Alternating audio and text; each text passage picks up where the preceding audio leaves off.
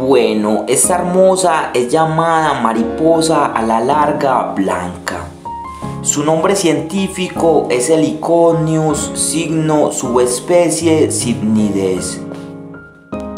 Es endémica de Colombia, de sus montañas, le gusta la altura. La verdad es que sus alas se lo permite.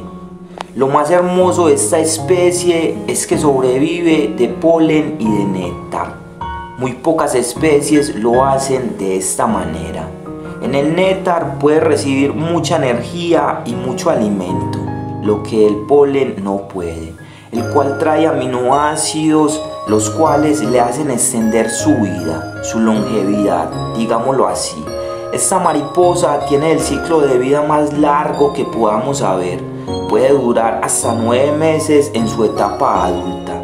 Es una vieja en el aire, con mucha hermosura y mucha sencillez.